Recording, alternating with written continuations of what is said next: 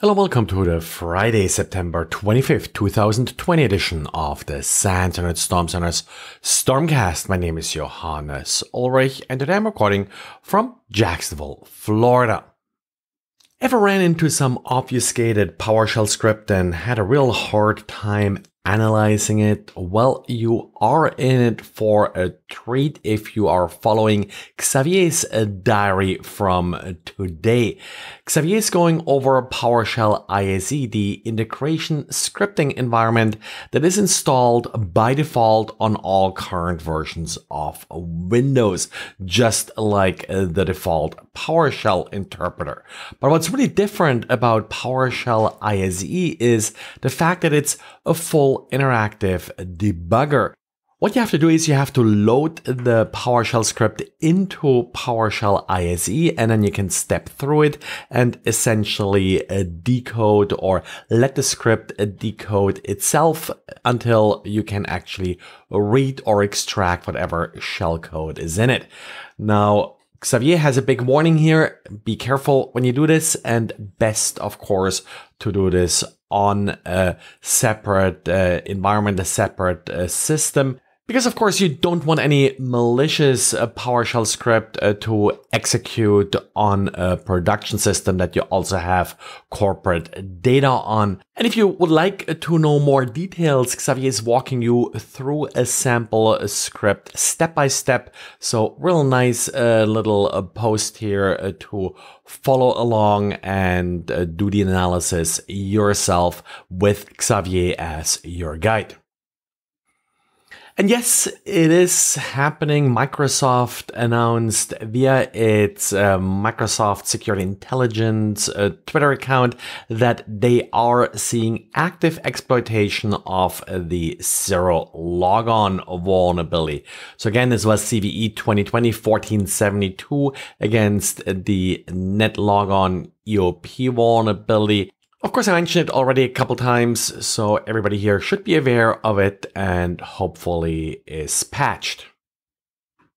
Then we got a couple smaller updates from Apple. First, we got uh, macOS Catalina 10.15.7 and security update 2025. This one uh, fixes uh, four different vulnerabilities. One I believe I mentioned in the podcast, at least I uh, looked at it uh, before uh, I uh, created one of the podcasts this week. And uh, this was a logic issue that uh, could potentially leak files through the sandbox restrictions that macOS offers. this was discovered by Adam Chester with TrustedSec. In addition, we also uh, got actually a minor update to iOS 14, 14.01, as well as watchOS and tvOS, but uh, these updates do not have any security content. These are some very typical small updates that Apple releases after a major update fixing various small bugs that came up.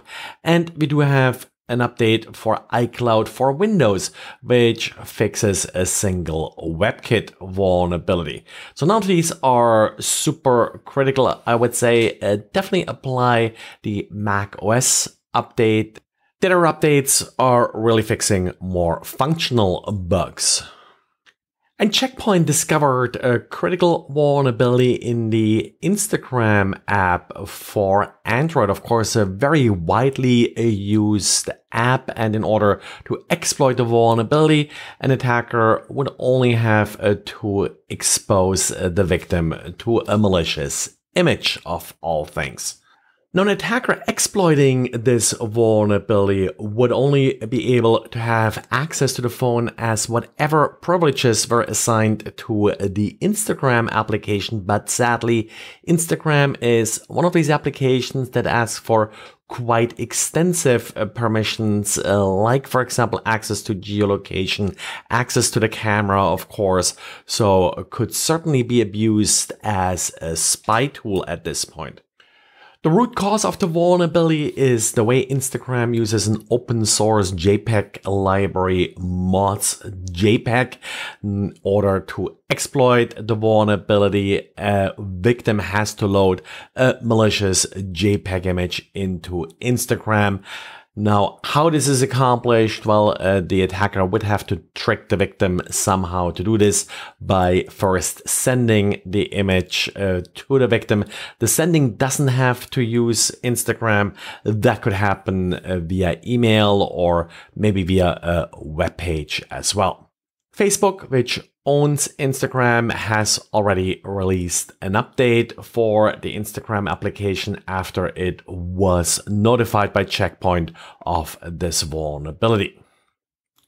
Well, and that's it for today. And don't forget, if you're interested in any classes that I may be teaching, I'll be teaching two in October, the intrusion detection in-depth class, as well as the defending web application class one US Central Time, one US Mountain Time. Just uh, check uh, the show notes and on the top you'll see a list of the classes.